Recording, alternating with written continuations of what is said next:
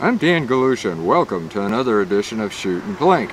We're back again today with the Smith & Wesson M&P 1522, but that isn't really what we're going to be talking about necessarily. What we're going to be talking about is this Caldwell bipod. Now you may remember we put it on the ATI Alpha 15. Um, I didn't like the way it was matching up with the magazine. Uh, the magazine was way too long, for this. This I've got a 6 to 9 inch and for that one you actually need the 9 to 13 inch when you're going to have it on that type of a deal. Well with this one I have some 10 round magazines that I use for the uh, this 22 and we're going to see how it works but I did have to do some changes and that's why I'm not too sure how it's going to work and why did I have to do some changes well this is something you ought to know about because you have the M-LOK, which is this, of course, in here with all these little holes. And the M-LOK adapter comes with it. However, it won't work with this one. Why won't work with it? Because, and I'll try to show you this up close. In here, inside these slots, this actual area in here, well here you can see it right there. See that? See how thick it is? Okay that's how thick it is inside of there. Because of that that adapter would not work. There's just no way you could get those things to come around and have them lock at least not securely. You might get one you wouldn't get the other. So I had to take that adapter off and use it like it comes just like this. Um, yeah I think you can see right here. Uh, down in here you just had to have that adapter off. There was no way you were going to lock this thing into place. So I'm having to step around Pepper here, by the way. Poor little guy, he can't see very well anymore. Can't hear very well either. 14. Um, anyway, that's what we're going to do. We're going to try this. We're going to see how it shoots with this. A little bit better. Again, we're going to, I'm going to tell you about it more. These come out just like that. No problem you got buttons right up here and you push on those but you got to unlock them first. Right up here you got to unlock it with this because this is what locks it. And then here you push the button and they come out. And then you want to make sure they're locked in place. We'll do the same thing. One of these doesn't work as good as the other one. And this time they both work pretty good I guess. There's still some looseness in it.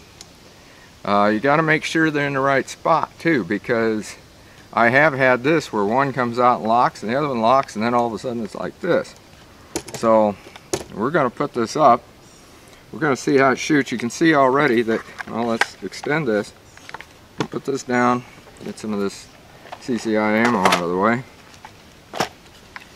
Take that, put it down like that, and you're clearing, which is good.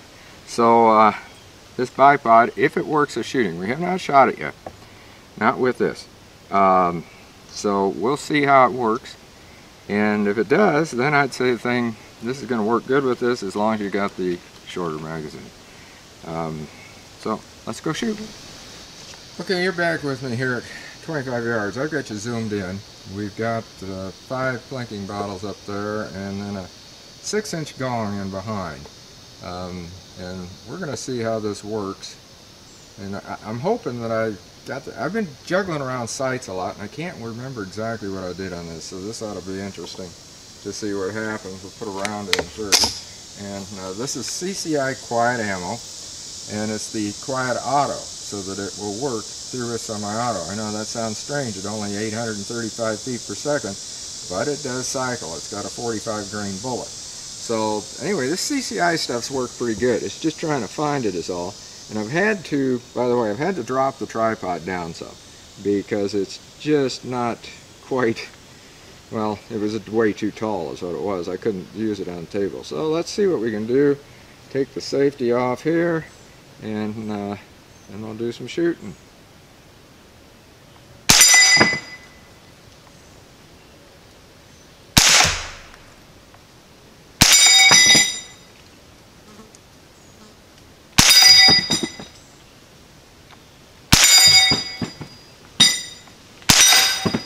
Now to go for the gong.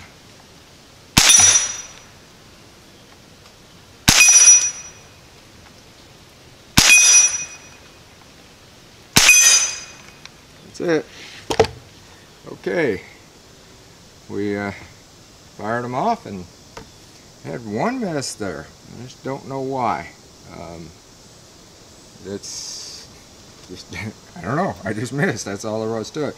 Couldn't have been by far though because I was sure on to the others and that bipod does help for that.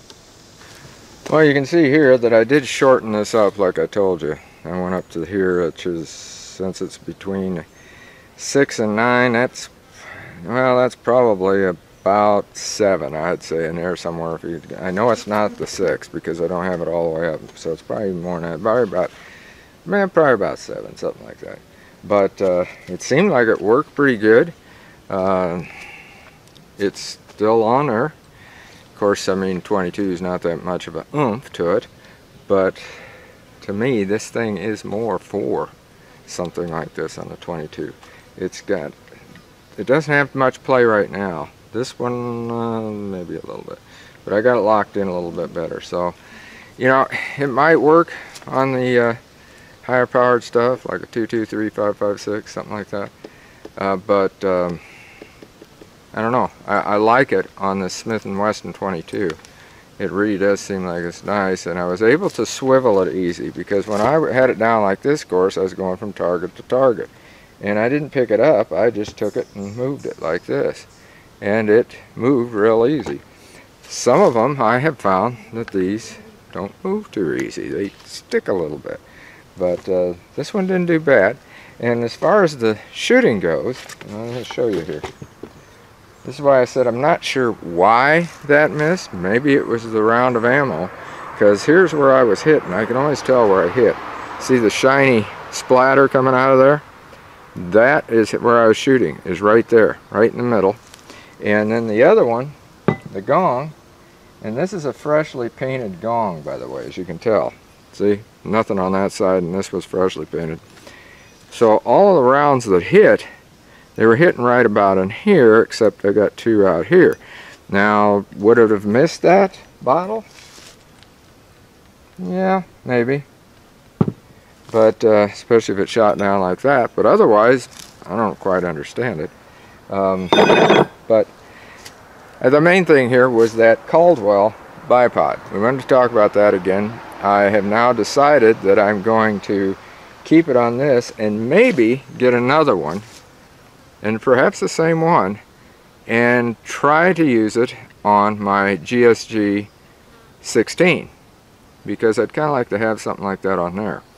And I haven't tried it there and that's got the the M-LOK 2 system but it's a little bit different because there's there's rails you can put on there and I just might put the rail back on the bottom and then do it because the rails are screwed on. They don't use the M-LOK system even though the M-LOK's there I'll just have to wait and see. I may take this off and try it on that one just to see what it does before I get another one. But I'm not going to badmouth this thing. It it worked pretty good. Again, it's and to you unlock it like that, just like I said, you got this little button right here. You push in on it and then you put those up, make sure they're up there, unlock, push, and then put it in, and then they just fold up like that. That's all there is to it. So not too bad. I think I got it for, well see now it didn't, you do have to watch this though. Don't always go down. There that, now it did. And then make sure you push them down and lock them into place. That's another thing. They will snap into place for storage uh, or in transport.